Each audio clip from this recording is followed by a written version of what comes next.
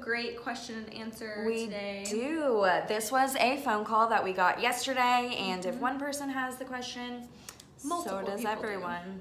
So, So, Sarah, I want to buy a house, but I currently have a house that I'm living in. What do I do? and it's a house that you own. Yes. Correct. Okay. So the first step would be to get with a lender, this one over here, um, to make sure that we can get you pre-approved in order to buy uh, before we even list your home on the market.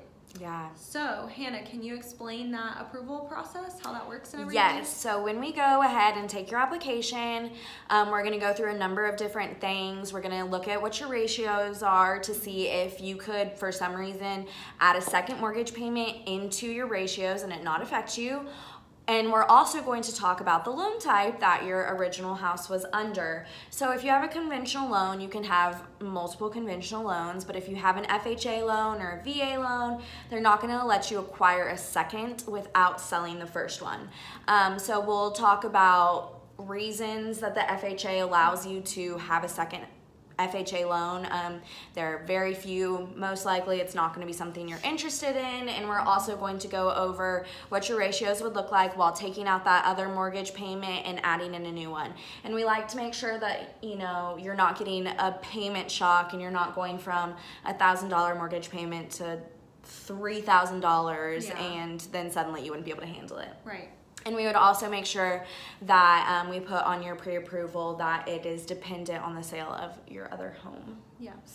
So, in that time period in which I want to go buy this house, are you to sell my house out from under me and I'm to be homeless? No. So typically what we would do is we would get your criteria, everything that you're looking for. We'll get your house on the market. So say we have the pre-approval, we'll get your house on the market. We'll start sending you properties that kind of meet your criteria and all of that. And then once we actually have an offer on your home, we'll start um, really going to look at those properties and find something for you. And then what we do is we write a contingent offer. So we tell basically the other seller, hey, we want to buy your house, but my house over here that's under contract has to sell first in order for me to buy it. And that date is such and such of the closing. So there we go. So, I'm not going to be homeless. I don't have to go live with my in laws. No, and then um, sometimes we can do like a closing on the same days. Sometimes that works out. We love that. Yes, um, but if not, we can always do like a few day lease back. That way we can close on your sale and then you can be in your house for a few days, close on the buy, and then move in. Wonderful. Yeah, So, what you're telling me is it's time for me to get pre approved and Yes. then get this household. correct. Perfect. We are looking forward to your applications. They're gonna links are down below, down there, Mm-hmm.